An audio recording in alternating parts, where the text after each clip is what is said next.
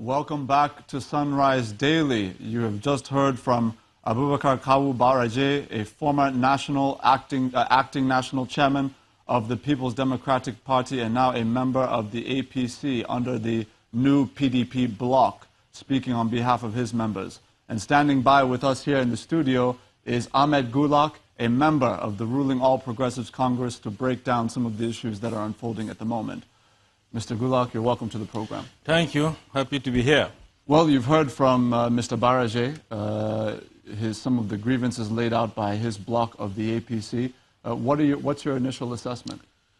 Well, as far as I'm concerned, you know, and the contents of the, the letter or the memo they have uh, written and forwarded, you know, these are people, part of the party as, as a bloc that came in 2015 to join the legacy parties because APC was formed by the legacy parties, the ACN, the ANPP, the CPC, the APGA, and the rest of them. Then new PDP pulled out of PDP to join and build the APC towards forming government in 2015. These are grievances. It's a political pressure. They feel they are sidelined. They feel they are marginalized. So you believe it's perceived, it's not real? Oh, well, it depends on how you look at it. Because as far as I'm concerned, the NPDP bloc or group in APC have had their good share. If you look at it, Senator Saraki, for example, is the Senate president. But, uh, it, I'm coming. Okay. And some of them are governors. Mm -hmm. Some of them are senators. Some of them are ministers. So, you know, you know, they feel they are sidelined, but outside there, some people feel they have been adequately accommodated. Okay. It's an accommodation. It's accommodation of political interest. But be that as it may, this will not augur well for the party, the APC, the ruling party. There must be a strong internal mechanism to douse this tension, mm. to bring people on board, to allay the fears that are being expressed. And this has to be done mm. so that the party will go into election as a united, strong party. Okay. The party should not be allowed to go into 2019 election divided and fragmented. Mr. Gulak, let's go into some of the grievances made by the new PDP. Uh, yes. Uh, we understand that it's a seven-day ultimatum beginning from yesterday to meet with, they're asking to meet with the national leader of the party in the person of the president. They're also asking to meet with the national executive leadership of the party to address what they believe is um, an, an, oppression, if you will, or a suppression of their influence within the party. Let me, let me go into the specifics. They have said, look, that if you look at the votes that they brought to the party, you've said that they weren't necessarily one of the legacy parties of the coalition. But if you look at the votes that they brought during the general election, that that was more than the difference in the election uh, victory of President Muhammadu Buhari. And they say that after that, of all the ministerial slots, for example, in the Federal Executive Council, only one out of 36 was granted to the new PDP bloc, and that happened to be to the Minister of Transportation, Rotimi Amaechi, who they say delivered virtually nothing in terms of votes from River State for the president. What are your thoughts about that? First and foremost, it is a fact that Rotimi Amaechi was the Director General of the Buhari Campaign Organization. And we know also as a fact, yes, the new PDP came in, contributed their own quota in forming this government. They should be treated fairly, like every other member that has contributed. But let us also know the fact that from 2003 to 2011, that General Buhari contested the presidency of this nation, his vote has always been 12 million. Let us not forget this fact.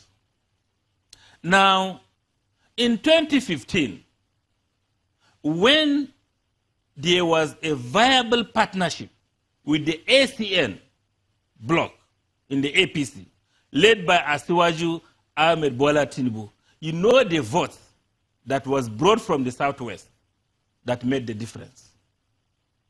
So people should not lose focus on this. Agreed, every member of the political party who has worked should be accommodated.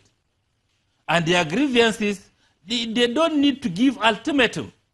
It's a give, it should be a matter of course that meetings with the hierarchy of the party is just usual, normal, and at that level, they don't have to give ultimatum. Mm-hmm. At the level of the leaders of the NPDP, I always believe that they know the channels to go and have such meeting Mr. with the leadership of the party or the president. But Mr. Gulak, I'm sure even you would agree that if you look at what the new PDP currently has within the APC right now, yeah. in terms of elected positions, in terms of influence, are those, uh, you'll find that they had to fight, scratch, and claw for almost everything they had. I mean, you cited uh, Senate President Bukola Saraki. Yeah. We know how he emerged. Yeah. We know what it took for him to emerge yeah. against the will of the party. The party, of course, at that time. Yeah, I agree entirely. I, I, I agree I, entirely. He has not been properly. No, no, I'm not. I'm not, I'm not referring just to Saraki okay. now.